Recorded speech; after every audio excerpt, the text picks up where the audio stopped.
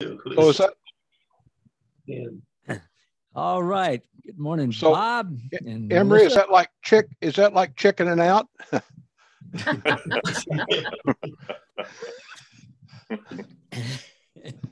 Ah, you guys are. Now you're going to have to, not right now, but you're going to have to explain that to Anders at least uh, sometime later on. What chicken out? I, I think I think I got it.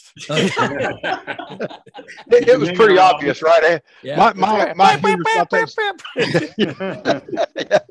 Been hanging around us too much. Yeah. yeah. Hey, All right. Hey, Paul. Hey, Yeah. Paul. Yeah. I- I'm gonna have to leave the screen just for a minute. Uh, Amazon came to deliver something. Yeah. Yeah, I'll be right back. Okay. um, I, I started the recording. Let me uh, mention a couple of things, uh, especially since some, uh, some of you are new. I do this every once in a while.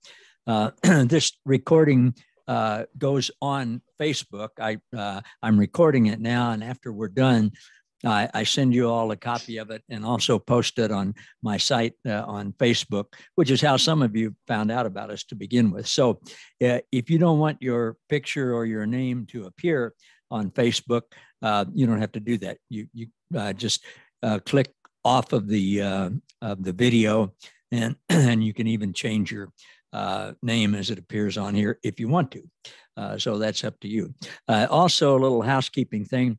Uh, it's uh, if you have any possible uh, background noise or things like that, it works best if you mute yourself. Um, and then um, when when you want to uh, when you've got a question, when you want to say something, uh, down at the bottom of your screen, there's a place called reactions, and you can click on reactions, and uh, you can there's a thing you can raise your hand, and if you look at my screen up in the left hand corner, uh, there's a hand raised.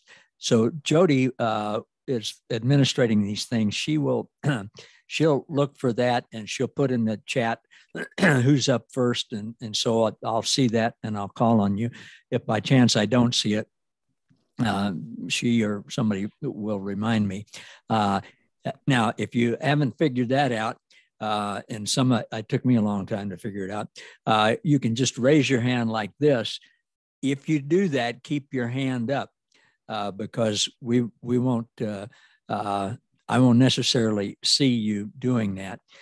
so if you're going to do it by that way, raise your hand up, and uh, Jody will eventually see that and put it in the chat meeting, and uh, so then we'll we'll be able to call on you. All right. Um, a couple of other things. Uh, Jamie Englehart's going to be with us tonight here uh, in Lawrence.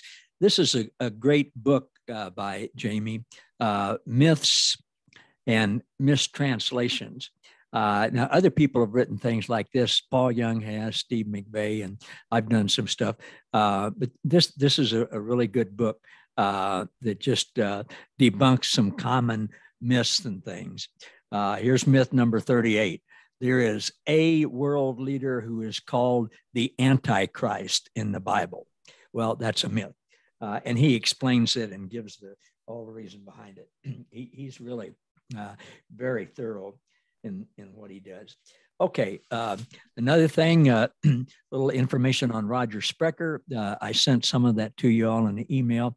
Uh, Roger's not with us this morning yet. Uh, he's he's uh, was he moved to a, hotel, a motel here in Lawrence on Friday, which is excuse me. He's going to and some people with the local agency helped him do that.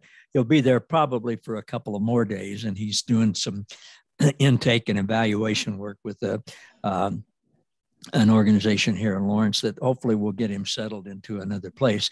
Uh, but the, uh, his phone's not working there uh, in the room that he's in, so uh, we, we, haven't been able to connect with him, and, uh, so we'll we'll find out later on in the day what's what's going on with him. But uh, his his eviction um, uh, experience Friday went about as well as it possibly could for all parties concerned. Uh, he seems to have a good uh, atti- uh, attitude about all of that. And so, uh, you know, continue to pray for him and and visualize him uh, uh, working well with the people who are trying to help him and to get him into a uh, a good place where he can be looked after, but have some autonomy and and where he can really flourish.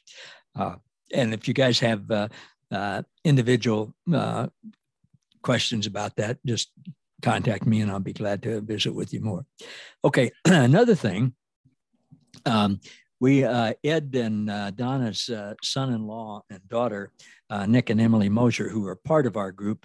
they're not with us uh, on Zoom on Sunday morning, but they're very much a part of our group. And uh, one of the things that Nick has done for us is um, de- develop the website that we had for the church for New Life in Christ, which over the last couple of years has has become it doesn't doesn't serve our purposes at all, in Nick's words, uh, which I realize it too, because it talks about where we meet in person and the children's programs and our statement of faith and all, all different things that uh, uh, are, you know, have totally changed. So uh, we're in the process of uh, coming up with a totally new website for the church, for us, for those of us who meet together on Zoom, uh, it'll actually be on a on a it'll have a different website, uh, different name, and uh, uh so I would appreciate you guys' um, your input. Uh, not right now, but think about this and email me or text me or call me or whatever. I'd appreciate your input on what should we include in that uh, website. Um, what what should we emphasize? Uh, what are some buzzwords that you would think uh, that we should use? Uh, and the point of the website is so that when people hear about us or go looking for a, an online church specifically, uh, you know, they'll they'll know what they're going to experience when they get it. So if if there are buzzwords that uh, or things that maybe led you to us to begin with uh, let us know about that so we can we can put that in it and that kind of stuff. So i would really evaluate uh, evaluate. I would really appreciate i knew there was an eight in there. Uh, i haven't eaten yet so maybe that's a, uh, a subconscious thing. Uh, but I, I, would appreciate your uh, your input on that.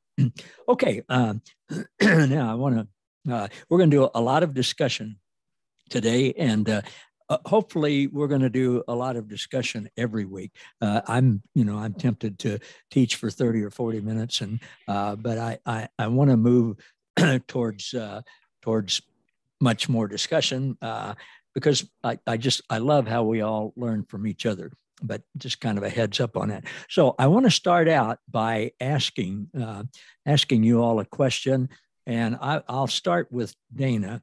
Dana what what time is it well, it's 11, 12 or so.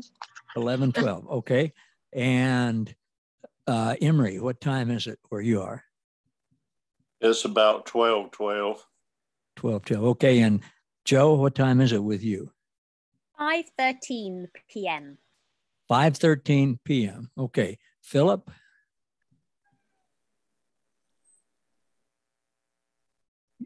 You need to, you'll need to unmute yourself, Philip.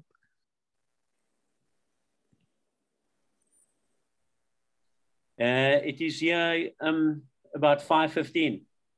Okay. Sorry, 6.15. 6.15. Yeah, All actually, right. um, to be actually really correct, it's 18.15. aye, aye. Okay. and uh, Anders, what is it where you are? It's 1814. well, it's a second up. All right. And Paulo, what is it with you? I, I think we lost Paulo for a minute. Oh, that's right. He was frozen up before. Okay, Robert, what time is it with you? It's 1815 also here. Okay, good. All right. um, and I, I, mentioned earlier the the link that I sent you all the Chicago tune. Does anybody know uh, what time it is? Does anybody really care? Uh, I want to I want to talk about that uh, just a little bit. Um, if you ask Jesus what time it is, what would he say? We'd What say would- it is now. Pardon me?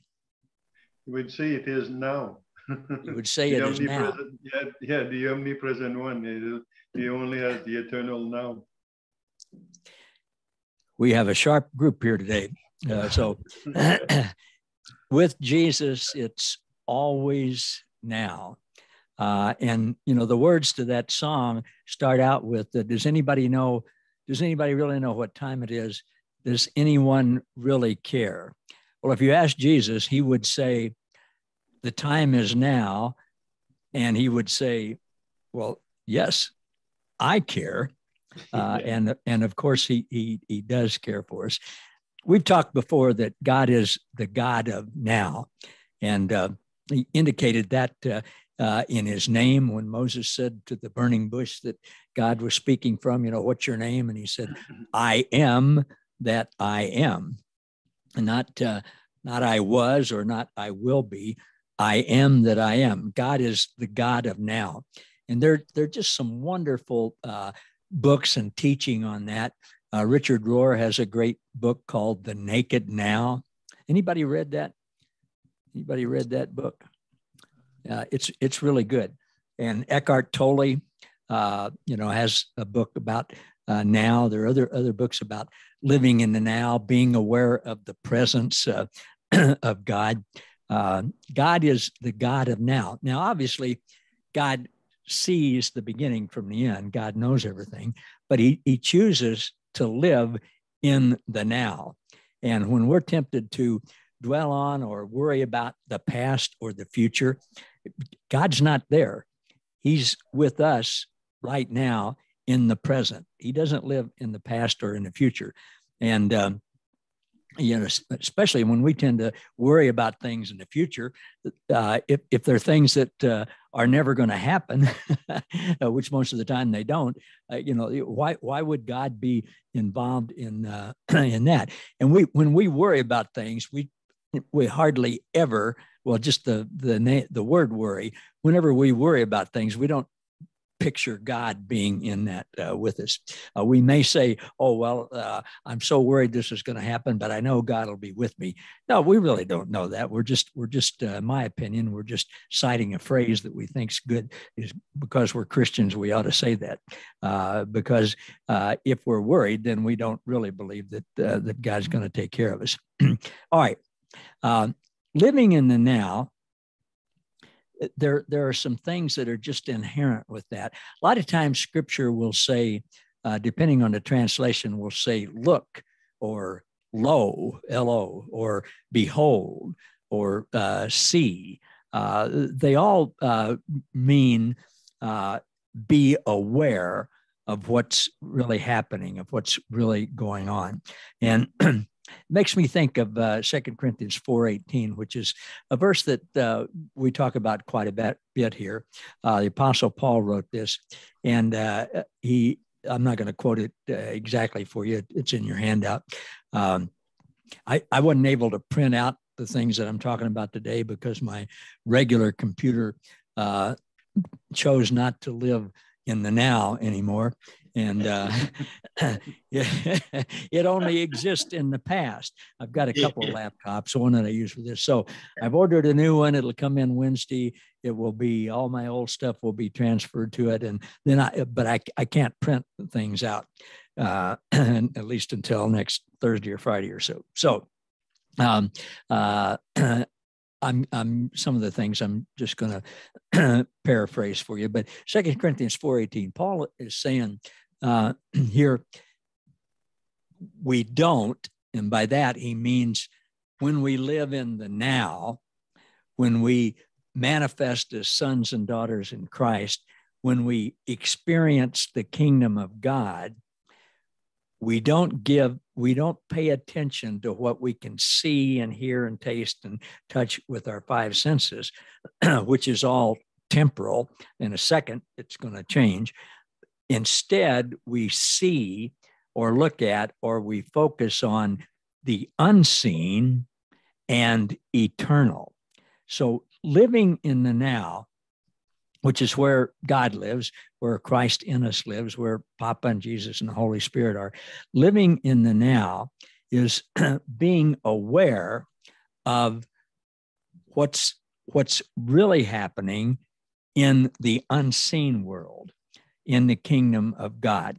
Uh, other ways to phrase that are eyes on Jesus or uh, focus on God, F O G, focusing on God. That's where we can see what really is. And one of the things that I'm becoming more and more aware of uh, in, in the kingdom of God in the unseen realm is the law of attraction. The law of attraction. What we focus on, what we think about, is attracted to us. It, it's a it's a scientific principle that's been proven now uh, with quantum physics, quantum spirituality, quantum mechanics, uh, whatever, however you want to talk about that. Th- this is something that uh, um, uh, people have known for ages, uh, going back to there's things written about it 3,000 years before Christ and, and things in scripture. But the law, the law of attraction, what, what you focus on, what you think about is going to be attracted uh, to you, either positively or negatively. Can either be used for good or for evil. It's not a matter of, of God uh, uh, bringing about uh, only good things or whatever. It, it, it's a it's a principle. If you you know if what if you focus on and give all your attention to something that's not good for you, uh, that's going to happen. It's going to be attracted to you. It's going to uh, be brought about to you. Uh, it, you know, if, if you focus all the time on worrying about getting sick, I mean, JL could teach about this all day. Uh, you know, and we're if you, especially if you say that out loud, if you focus on being broke or losing your money or losing your health or being sick or uh, the world going to hell in a handbasket because of the election on Tuesday or whatever, whatever you focus on uh, is going to come about most likely, at least in your experience of it. So, um, th- this law of attraction is uh, something we're, we're going to be talking on more uh, in in the weeks to come. Mike Popovich talks about that a lot too. Steve McVey and and other people. All right. Um, where is Jesus right now? It's not a trick question. Where's He Jesus? is in, yeah, Emery. he is in all of us. He is He is- everywhere. He is in all of us, everywhere, all the time. now, first discussion question What's he doing there? What is Jesus doing? Now, I, I've got something that I'm going to bring up and show you, but n- none of you have wrong answers. Uh, so, uh, you know, all of these things are things we'll learn about from each other. But let's just take a little time and you guys tell me what's Jesus doing there? What's he doing in you? Well, I'm thinking about the relationship of the Trinity, the Son giving himself to the Father, giving himself to the Son through the Holy Spirit. Is that the divine dance, the divine circle of the union of the Trinity is the giving and receiving. It's like the big divine wheel, you know. So this relationship of the Trinity in Christ and the Holy Spirit with the Father, that's what's happening on the inside of us. So uh, often when I think that, that the scripture says we're partakers of the divine nature, you could translate this, we're partakers of a divine relationship. Absolutely. Yeah, it's great. Kitsy, He's living and loving. he's living and loving. Yeah, Andre said he's giving. Kitsy says he's living and loving. Yeah, good. What else is he doing inside of us?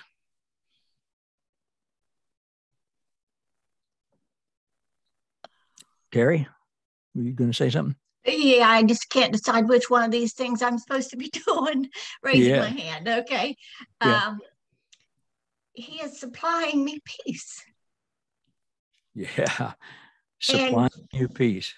and giving me confidence that He has everything under control all the time. all the time. Yeah. Oh, that's so good. Yeah. Dana?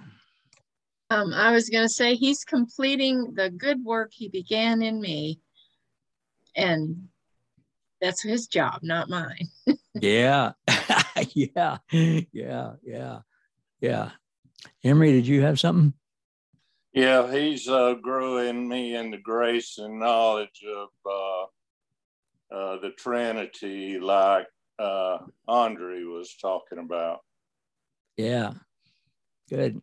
And Philip, you you wrote something. You want to share that? Yeah, I'm saying um, I first wrote Christ is sharing his life with all of us right now, but then I added it a little bit more. I was saying Christ is, or he is sharing his own uncreated life with the Father with all of us right now. Yeah. Yeah. Gosh, I'm so glad I asked you guys to share with us. This is, yeah, I just, I love how we learn from each other. Who else? What's, uh, what's Jesus, what's he doing in there? He- He's looking for an outlet. He's Hmm. looking for an outlet. Let me out Yeah, of we're- here. We're- Well, no, we're his hands and feet. I mean, uh, uh, we can talk about what he's doing in us all we want to, but but but his purpose in us, uh, uh, uh, his purpose in us is to we're we're to be an outlet for him. Uh, we, we are him in the earth now, and so he's he's he's he, he he's looking to utilize us as an expression of him. Yeah, I would certainly agree with that. Yeah. Melissa? I forgot another thing. Um, he's also sharing his Christ is also sharing his life with the Father and the Holy Spirit, and we have been in it for a very long time already, Yeah. and it's still ongoing. Yeah, that's perichoresis, of course. He invited us and included us in that relationship. Yeah. Yeah, I got that from Baxter Kruger a couple of years ago. It blew my mind. me too. Yeah. okay, Melissa.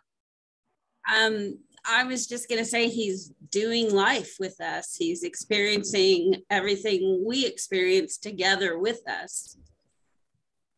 He, yeah, yeah, he certainly is. Stanley, He's sharing wisdom with us. he's sharing wisdom with us. Yeah. Yeah. Who else? What's he doing in there?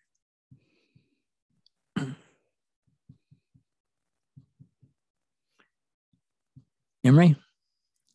Hopefully, he's using us to bring others to him. Indeed. All right, I'm going to uh, I'm going to read if I can get it up on my laptop here. Um, scripture that I sent to you.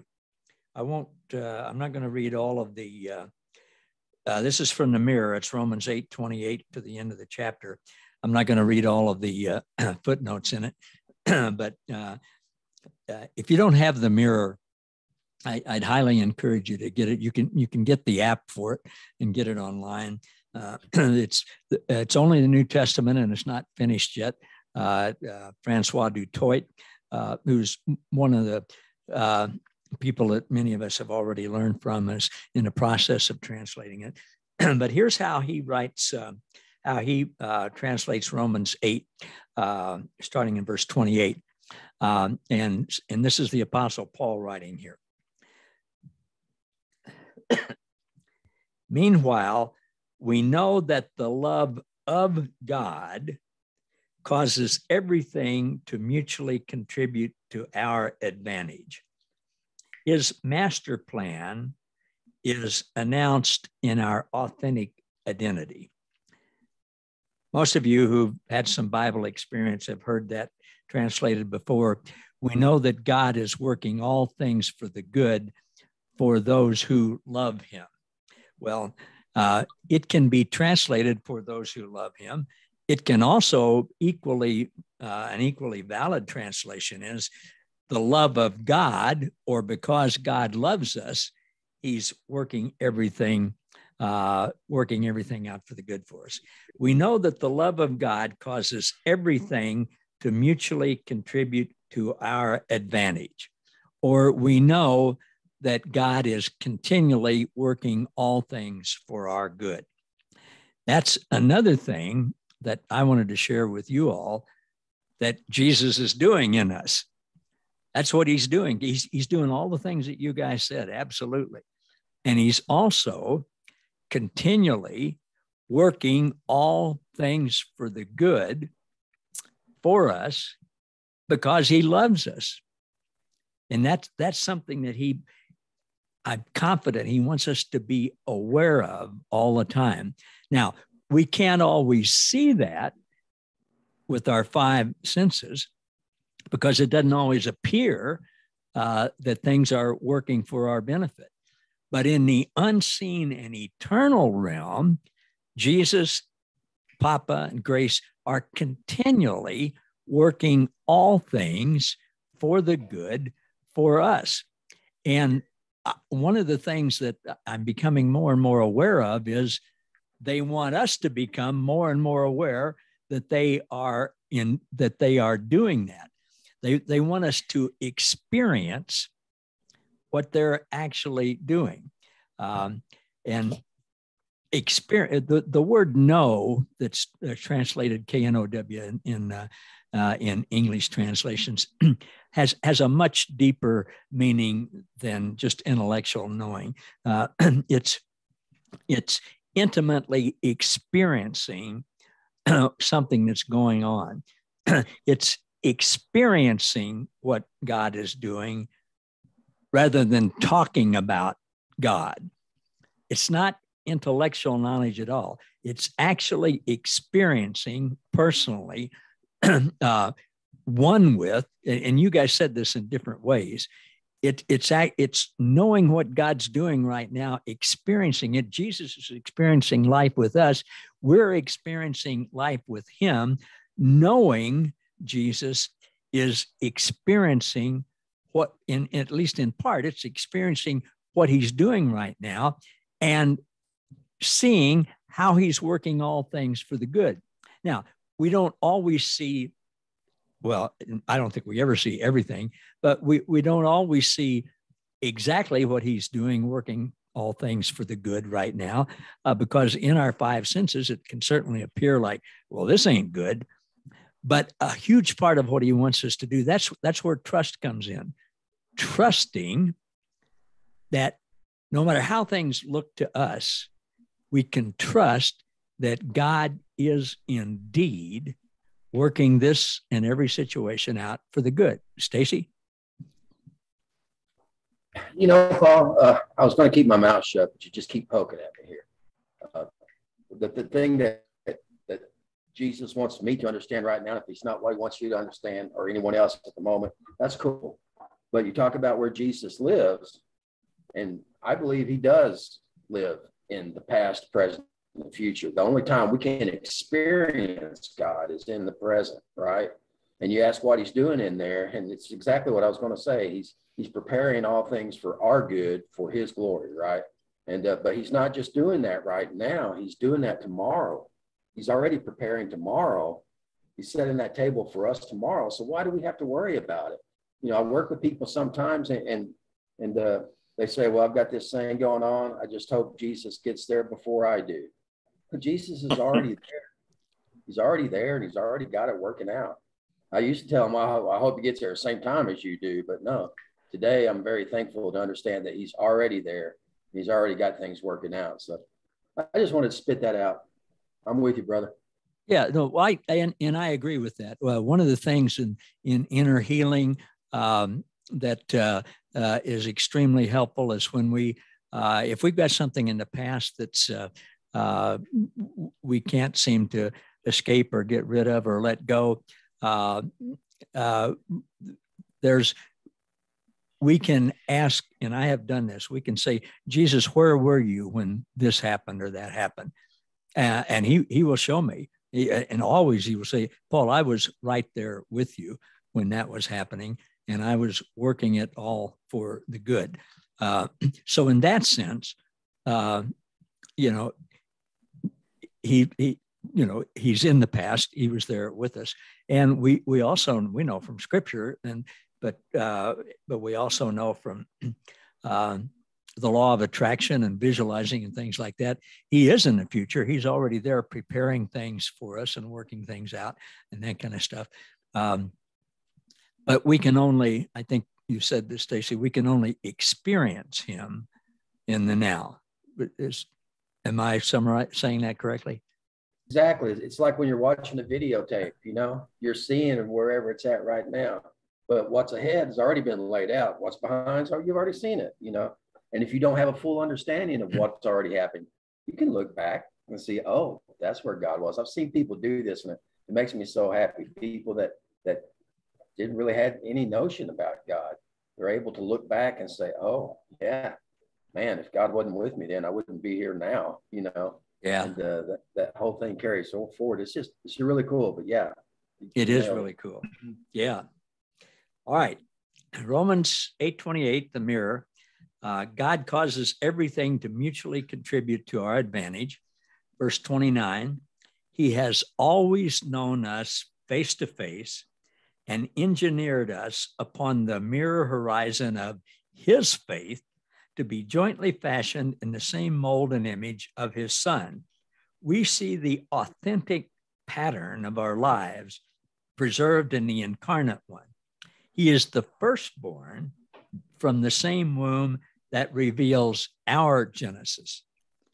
Jesus is the firstborn, and we are all born just as he was born. He's the firstborn. We're, we're not uh, uh, we're not a second class thing or a different species or whatever. Uh, we come from the same womb that he came from. Verse 30 Jesus reveals that we pre existed in God. we could talk all week on that. Jesus revealed that we pre existed in God. He defined us, He rendered us innocent, and also adorned us with splendor and esteem.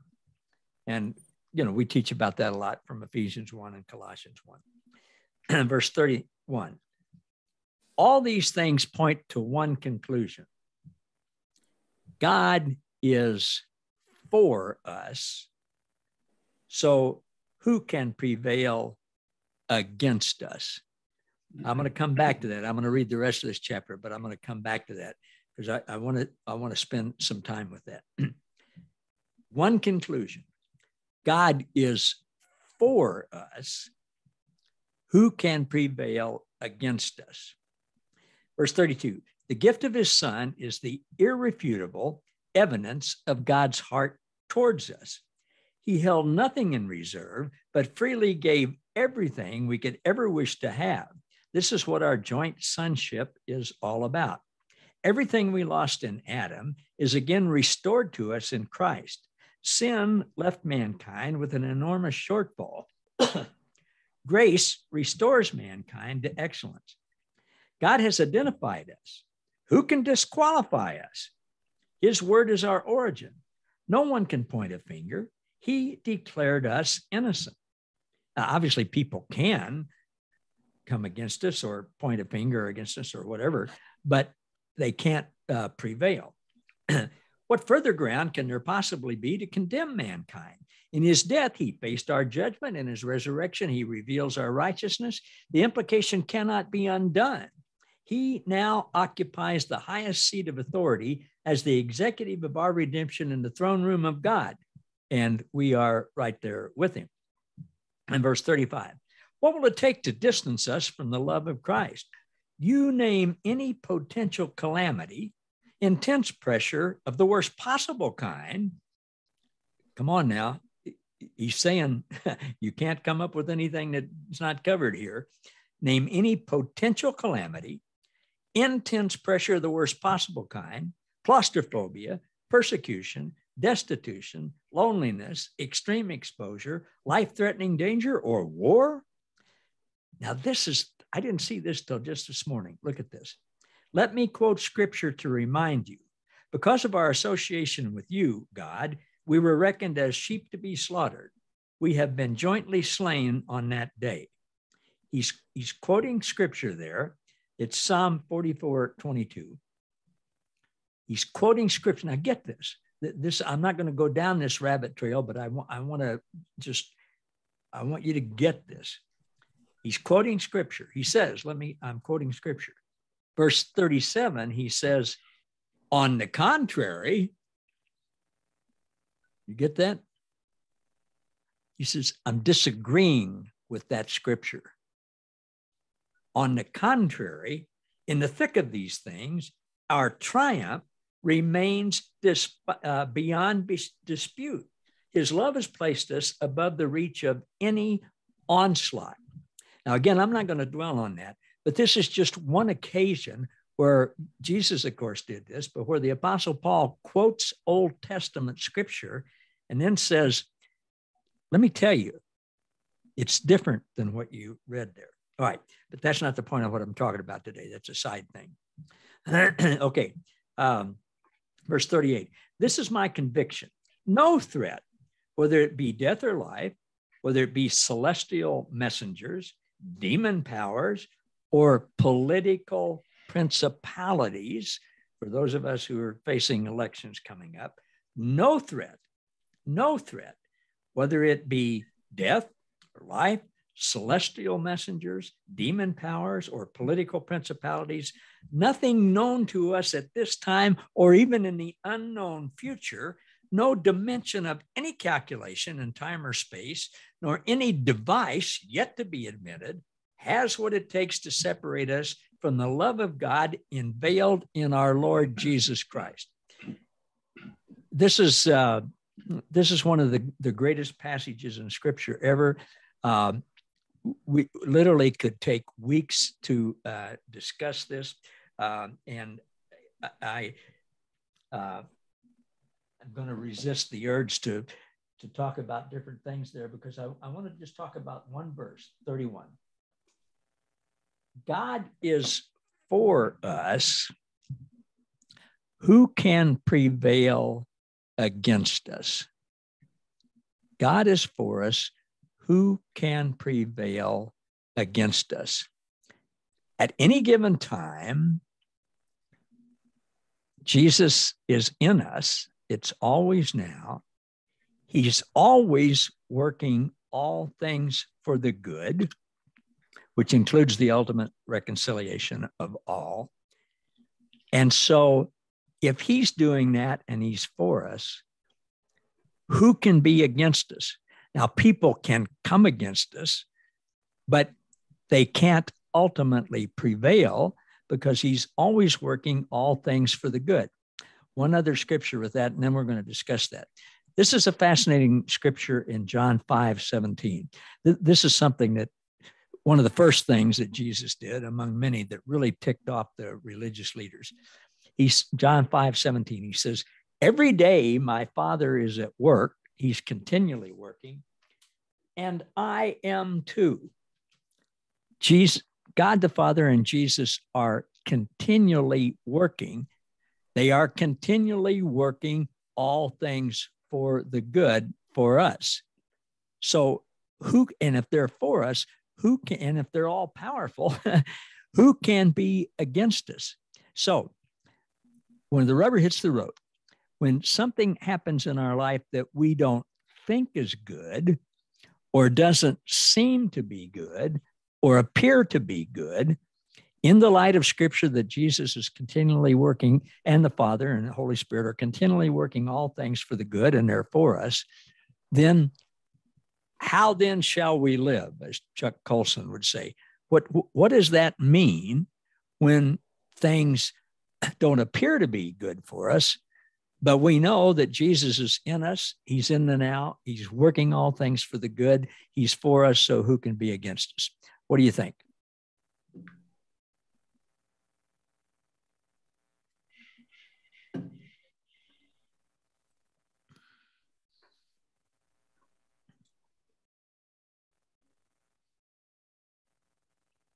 I think Anders wants to say something, Paul.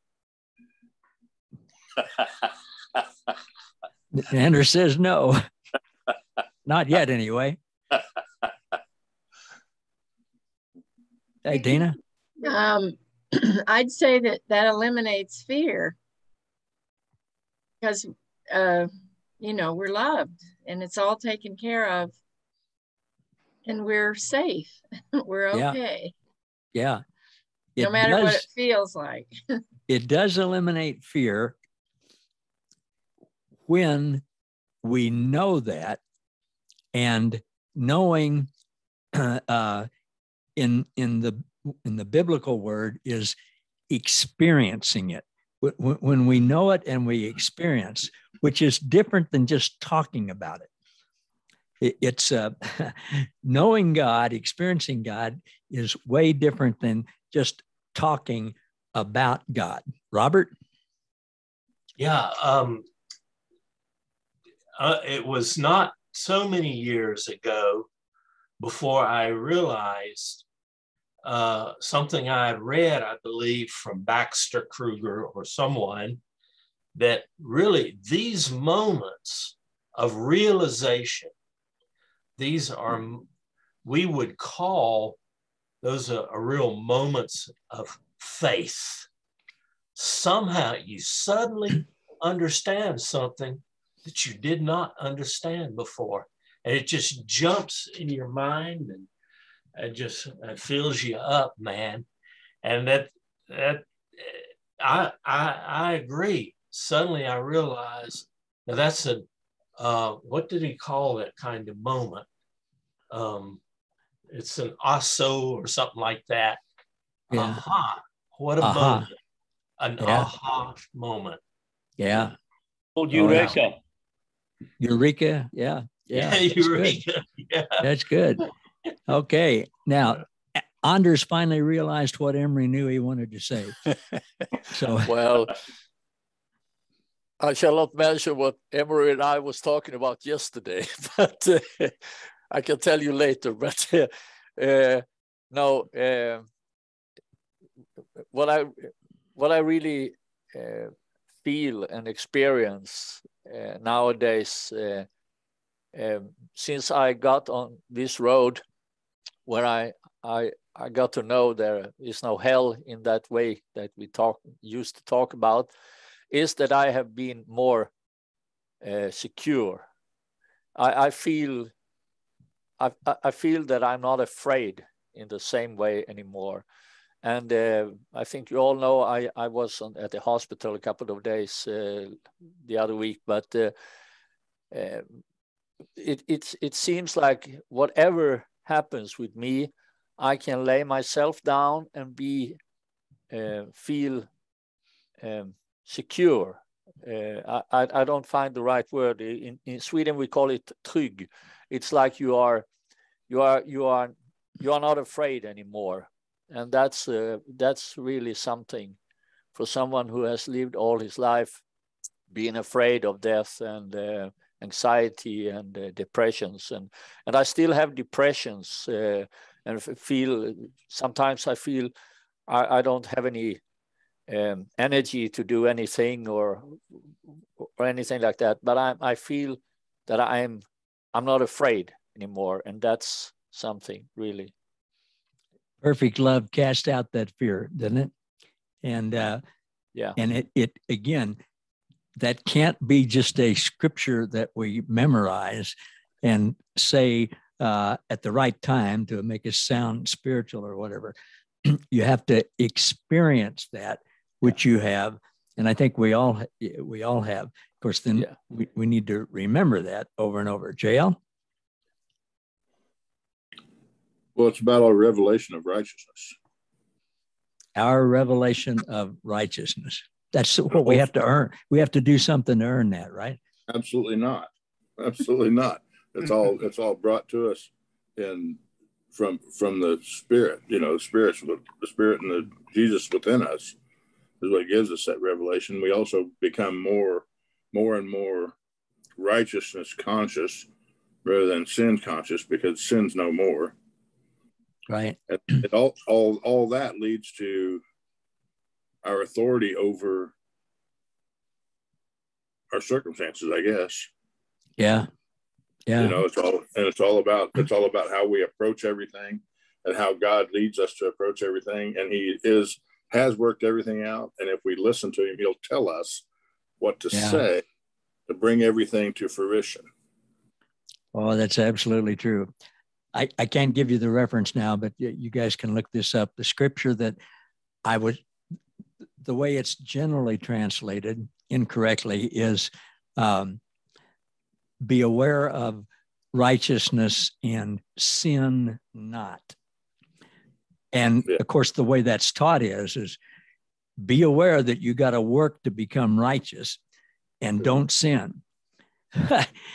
what it means is be aware that you are righteous and not sinful. That's what it means, uh, which is completely different. All right, uh, Anders? Yeah, I, I, wanted to add it to what I was saying before that uh, um, sometimes I still can ask God, please, God, let me have you, uh, let, let me have this great uh, experience that I heard some some people had with a with a close encounter with the love of you, uh, floating through through my body and everything like that. But uh, when I when I what I, when I said what I, I just said before, I found out I, I have had that experience, but not in that uh, uh, special uh, experience. I, I have had it, but in a in a long, uh, uh, slow work inside of me. Yeah, it's good, Andre.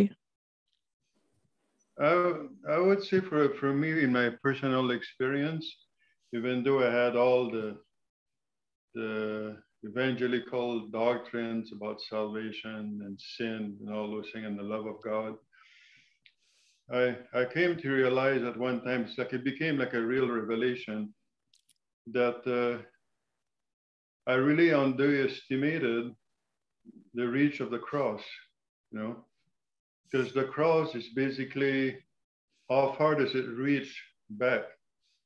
All the way into the beginning, all the way into Adam. And how far does it reach into the future? You know, the Lamb of God that take away the sins of the world, you know. So we could ask ourselves, well, is there any sins that are not on that cross? Not a single one. He's the Lamb of God that took away the sins of the world. And that's really important that we get a full revelation of, of how far in the past and in the future that that cross is reaching from the beginning to the end of time as far as uh, human history is concerned. And so the, the problem with being able to experience the love of God has to do with sin consciousness, the way I understood it in my own life in a way. Because if I if if, sin consciousness is removed, sin is not an issue anymore because sin died on the cross. Because Jesus became sin for us and he died and rose again to die no more. And so sin is a, become irrelevant it's like trying to outrun your shadow, you know, like it's sin has already been dealt and it's finished with for all of humanity. And so when that sin consciousness is removed through the full revelation of the cross, then you never self disqualify yourself anymore to experience the love of God because you know that now is the time of his favor. Now is the day of salvation, you know, the ongoing salvation, the healing of your soul, the restoration of your soul. So, so when is when you say now is the time of his favor, well, God is always in the now. it's, it's always in the now. now. It's yeah. always in the now. Yeah. Thank you, Andre. I'm not going to uh, to get into this other than to uh, uh, just mention it. Uh, you know, I've talked a lot about my new book, which some of you all are in, there's a chapter, there's a section in this about Andre and his path, uh, his past, and also uh, in it is the uh, the the the number of uh, the podcast interviews that I did with him. When when you see this kind-looking, gentle, well-spoken uh, man of obviously some past experience uh, by that I mean as old as me, uh, you would have no idea of his past. And uh, I, am not gonna I'm not gonna tell you now. May, maybe sometime we'll uh, we'll take a morning or two or a month or something and uh, just take 10 or 15 minutes on some of you guys who want to to tell your story. But Andre has a story that if you met him in a coffee shop, you, you, wouldn't have any idea, which is pretty much the same the true with same thing true with all of us. So read about that in uh, the book. Uh, I'd encourage you to listen to uh, the podcast, watch watch the video. Um, on a separate thing, right there, before I forget, how many the the podcasts that I do come out uh, just on audio as a podcast, but I also put them out as a video on YouTube. And I, am thinking of, uh, I might be not getting the best, might not be getting your best for the money that uh, we all use to support this with one of those platforms. How many of you actually listen to the podcast, not the video part? Each. Dana, okay, you each? I, sometimes I, I do, it's random. Sometimes it just depends. Yeah. okay, and Jody does. How many of you watch the video? I do that too. okay, yeah, more of you watch the video. Okay. All right. the the videos, uh, the YouTube videos are free to produce. Uh, the the podcast costs me about three hundred fifty dollars a month to do and I'm I'm trying to figure out uh, uh, if anybody's actually listening to the podcast, and uh, uh, if it wasn't available, would they uh, watch uh, the video? Of course, when I say watch the video, you can listen to the video just as easily as you can watch it. So if you're driving in the car, you can you know you can put the youtube uh, video on and listen to it so i haven't made a decision about that but it's just something that uh, uh, that uh, um, i'm thinking about okay uh, which again which i really appreciate your all's input to it all right um, i'm going to wrap some things up on this i've got uh, see some questions here that i want to answer and then I'll try to do this in three or four minutes, and then we'll have the rest of the time to continue this great discussion. Um, okay, we're talking about, I've talked about several times, uh, experiencing uh, as, as opposed to knowing. Um, one of the, the scriptures that I've, I just have been thinking a lot about is in Matthew 5 14 to 16, where, where Jesus tells us that we are the light of the world. And uh, Bob alluded that to that before that Jesus is looking uh, for for an outlet, or uh, in other words, what uh, what can we be doing what uh, and we don't have to do anything. We can't do anything to earn god's favor to get him to love us more or less or anything. Uh, but what what do we do uh, in uh, in our life? What does christ do uh, as us? Well certainly to a large extent we are the light of the world and that's something that that's not i mean we can sing this little light of mine let it shine. We can quote the verse and all that kind of stuff but experientially knowing what it's like to be the light of the world is um, uh, it, it actually experiencing that is a whole nother thing. And we are, we literally are, Jesus said it, we are the light of the world to everybody that we come uh, in, in contact with. And experiencing that, being aware of that is so important. Now, I think experiencing Christ, experiencing who we are, experiencing our oneness with Him in the mind of Christ is, is arguably the single most important thing for coming out of darkness into the light. Uh, we, we've got to experience it and be aware of it. And this whole awareness thing is, is what I want to finish up with. Um, is, is just being aware of of what God is doing right now. And one of you mentioned this before to be aware of, of what Christ is saying to us. Uh, one of the guys that I used to love to listen to back when I was in business was a fellow by the name of Jim Rohn, R O H N, not the sports writer, but a guy who was a, like a motivational speaker and author. And one of the things he said that I learned in the early 1980s that was so important to me, and it still is when I remember it, uh, he said, Wherever you are, be there. Wherever you are, be there. And the illustration he used was he said, You know, I can be in my office working hard, involved in something, and all of a sudden my mind goes to, Oh, I wish I was on the beach with my family.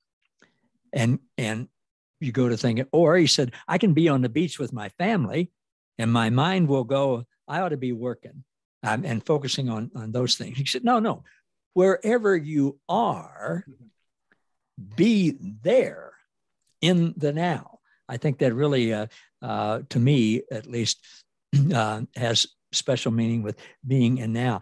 Be aware of where you are. And uh, now is always the time to be aware. So, how, how do we become uh, aware? Uh, you know, does anybody really know what time it is? Does does any anybody really care? What's it like to trust all of these different? What's it like to know that God's for us and to be aware of, of God's goodness and that He's working all things for the good? Well, it's to recognize that, to be aware of that in any given moment. And as one of you said before, just ask, you know, Papa, Jesus, Grace, Holy Spirit, whatever, however you want to say it, just ask show me, Lord, show me what you want me to be aware of. And included in that is, Lord, show me what you want me to say and what you want me to do. Just becoming aware of that. And I, I, I took the opportunity intentionally to do that on our trip last week. Uh, Kitsy and I were uh, in Colorado all week, and we got to spend wonderful times with uh, a good friend of ours in Salina, uh, and uh, with Mike and Barb Popovich and their kids. Uh, and they arranged for a tour of us for us, uh, a private tour at the Air Force Academy where they went to school, and then with our friends Earl and Suzanne Knowlton and their kids and grandkids. And uh, of course, we experienced people at, at restaurants, at Seven Falls, at uh, uh, gas stations and quick shops, and uh, when, you know, all the different things that we did. And I, I just intentionally made up my mind in advance that I was going to be aware of what was going on with everybody I'm with, with every place we are. And I think Kitsy always does this, or at least she certainly appears to be aware of other people uh, what emotions they're giving off, or uh, does it look like something's on their mind that you know we can encourage them about, or whatever? Uh, just being aware, and it can just simply be uh, like sitting on a bus, like we were going up to Seven Falls, and seeing the uh, the bus driver right in front of us, and just saying, uh, Papa, what what do you want me to be aware of about this bus driver? Is there anything you want me to to say to her or to uh, to do or whatever?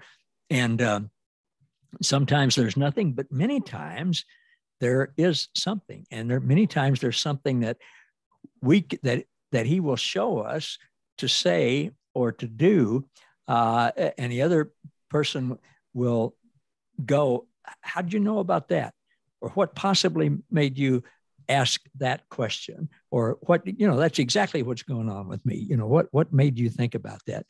Um, and and i want to just touch on one thing about how do how do we how do we do that for those of us who uh, haven't really done that or if it sounds so mystical.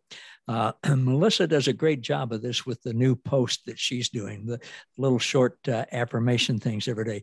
At the bottom of that she talks about breathing in and breathing out. And uh, there are different ways to do that, but a very simple thing uh, to get into position where we can hear from uh, Christ who's in us and continually working in us and doing us is to still our mind and to slowly breathe in through our nose, like for four seconds, slowly breathe in, focus on that breathing, hold that breath for four seconds release it slowly for four seconds and don't take another breath. Just stay there for four seconds, you know, approximately. And to do that two, three or four times, whatever it takes. And in the process, you know, just just be thinking, be aware of what's going on and ask the spirit in you to hey, show me show me what you want me to see now what you want me to know what you want me to say what you want me to do and then listen.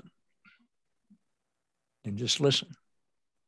Now sometimes we won't hear anything uh, but many times we will and that's that's a uh, uh, a proven way for many people to be able to hear something in the moment, in the now, right now, uh, from God that helps us then to relate to somebody else. Or, you know, sometimes he'll just say, hey, pray for that person or talk to him or whatever. All right. So uh, I'm going to answer one question and you guys have the rest of the time. Um, Philip asked, when am I going to be uh, starting the Pure Light Walker course? Uh, probably three weeks from now, Philip. I'm, uh, you know, just getting back from uh, um, vacation. I've got several things on my plate and some stuff that I, uh, but that's that's one of them. Uh, and uh, uh in some format or another, I'm going to be doing that on Sunday mornings, and then have another uh, two other times during the week. Uh, one for people overseas, so it would be like six, seven o'clock in the evening. So uh, you all can participate in it. Uh, and then another time during the week uh, for those in in uh, the Americas where we can have and the discussion times to talk about it. And I'll, I'll, provide all the materials and the videos and everything with that. So uh, keep keep asking me about that, you know, Philip. I've got it on my list of things to do, and it's in one of my stacks. I got boy, I look around and I see my piles of things to do, and I, I need another week uh, after my vacation just to uh, get to the piles of things. But I am getting to it. Okay, in the time uh, remaining, what uh, what comments, questions, thoughts do you guys have?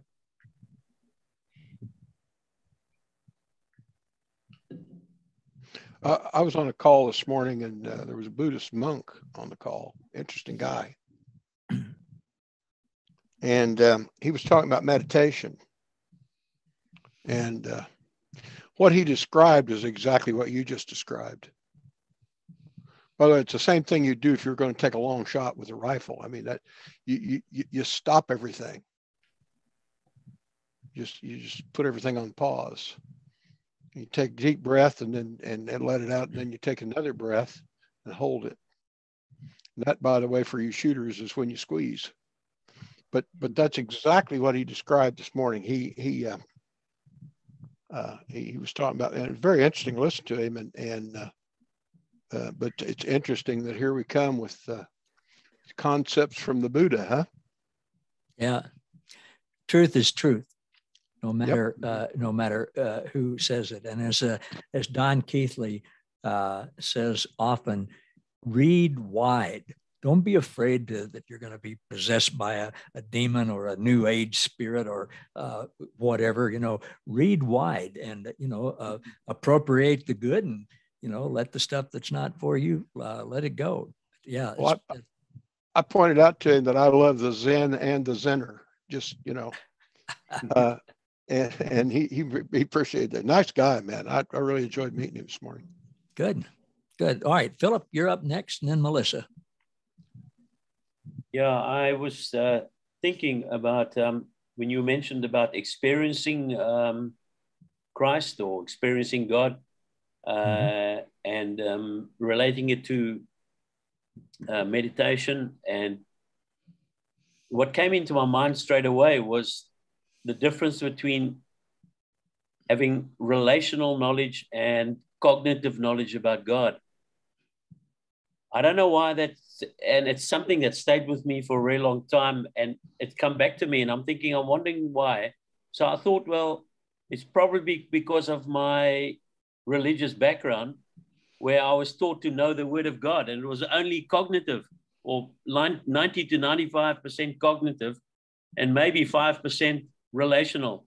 But i don't remember ever being taught to have relational knowledge about god much at all And now I'm thinking, is relational knowledge and experiential knowledge the same thing? That's my question. Yeah. Yeah, of course it is. Is it not Relate- further? Is it not more than just relational? Well, how can you how can you be more than relational?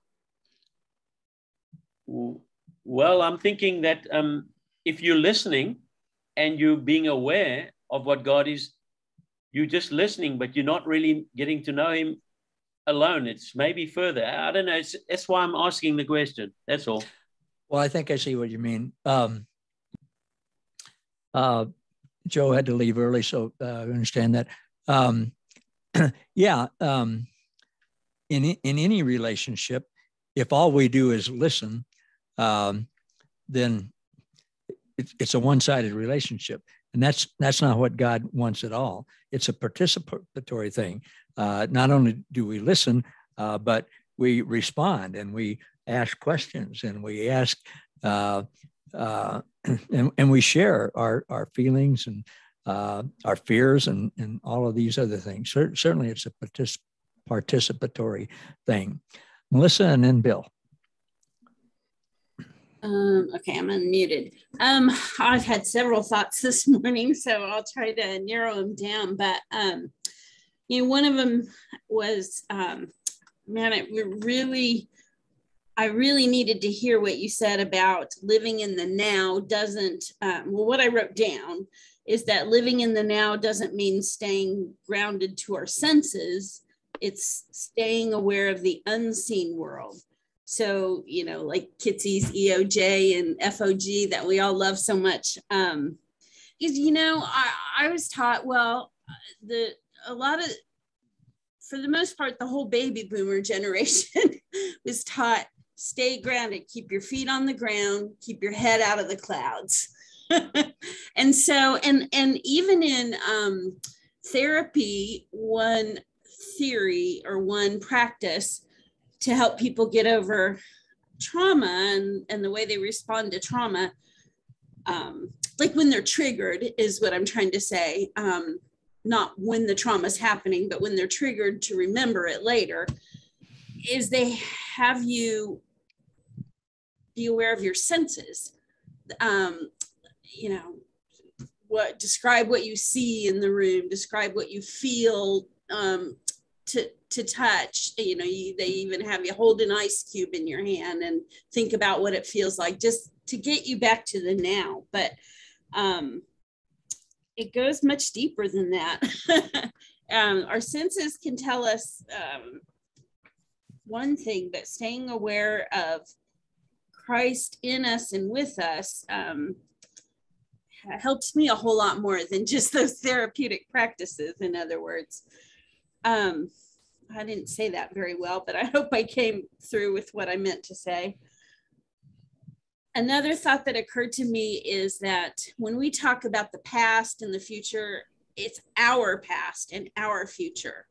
Um, for God, time is not linear. It's all, you know, it's like you said, it's all now. And even our spirit, the part of us that's eternal, um, it's always now so yeah so um why would we ever um worry about the future or dwell Yeah. on the past Yeah. and i'm saying that to myself more than anything because I, I tell you what I, amazes me about God every time is exactly what I needed to hear. I hear. I woke up this morning tempted to focus on worry about finances and you know where they're going to come from in the future. That was the my first thought upon waking and i and then i get online and i do our devotion this morning our u verse devotion and it's all about do not worry not thinking about the future and not dwelling on the past. And then i read my email all about do not worry, do not fear. And then this, the Zoom, um, same thing. So um, clearly, God speaks to us. Well, he Exactly does indeed. He does indeed. And uh, Mike Popovich is teaching this week end. Boy, it's uh, it's really good for that. I, will send you a note about that, uh, Melissa. But that it's really good about that. And for those of you who, uh, if you'd like to get Melissa's daily uh, little short uh, affirmation thing, uh, just send me an email or if you know her, ask her. And uh, they're really good, along with JL's posts that he puts out every day. They're also very good. And they both put those on the on the messenger site as well as other places. So I encourage you to look at them. All right. Uh, just a couple of minutes left. Bill, it's all up to you. All it's all yours. well, I hate to take up the last few minutes, but I was take really them I was really going on what you were saying about a relationship, and uh, the Lord really been dealing with me. I've been in a hospital and all that stuff with uh, the people that I was meeting and stuff, and just talking about being a light and the light of the world and all of that. And I asked the Lord, I said, you know, what is it that I need to know? And uh, He actually gave me something, and I wrote it down. I don't know that you went to long enough to hear it, but it, it's a, a, little ways in there. And he said it has to do with agenda. And I've, I've known for a long time that, uh, you know, Paul had a, I mean, Peter had a problem. His agenda was different than what the Lord's was. That's the reason that he made a, a choice. And so I asked him about that agenda, and he gave me this. If you got a couple minutes, I'll read it to you. Do you mind? Go, go for it that as I woke the other morning, the Lord said to me, Bill, come, let's take a walk. He said, Peter and I walk this way. You have read what Peter said on that faithful day. I asked Peter, Who do you say that I am? He said, You're the Christ, the Son of the living God. But even though he knew me, he never really understood. For when I told him what would take place when we entered into the city, that I would be beaten and abused, then crucified without pity, Peter then rebuked me, saying, Lord, this will not happen to you. The miracles, the healings, and the kingdom, that's what you're here to do. I said, Get behind me, Satan. You're a hindrance to me. You're only thinking of your agenda. Of my Father's concern, you cannot see. Then Jesus looked at me with loving eyes. Then he said something. He said, then, then said, There's something you can learn today. Come with me into the city. Then you'll understand what I'm going to say. As Jesus was dragged into the temple, Peter and the ten weren't far behind. A young girl confronted Peter. Do you know this man, Peter? Peter denied him three times. This didn't fit Peter's agenda. I was supposed to set up the kingdom and rule. So Peter and the disciples went back to fishing. Somehow they thought that they had been fooled. But the Father's agenda had been fulfilled. The cross was Trinity's plan. Only in God's Son could salvation be done and life could be restored to man. Next, we see Jesus on the seashore calling out to Peter to come and dine. Peter was ashamed, but he still came to hear what Jesus had to say this time. Jesus asked three simple questions Peter, lovest thou me as I am? Three times we hear him ask before he gives Peter a task Peter, feed my lambs. He said, Bill, your agenda for years through blood, sweat, and tears was a destination. Heaven was his name. You tried your best to pass every test. The end result was always the same. When Jesus called Peter from the seashore that day, the question was, Lovest thou me? He said, Now, Bill, I hope you can see your destination is not heaven. Your destination in love is in me. So come unto me and dine, for you are always mine, not just for the day and tomorrow, but for all times but I have aught against you. You have left your first love. I never thought. I never thought that I would hear this from my father up above. I quickly went on defense, trying to justify my walk, but I knew I needed to listen before it was time for him to talk. Do you remember when you became aware of the love that I had for you? Your world became small. It was just me and you what precious communion that we shared. Here you all in there, no bound.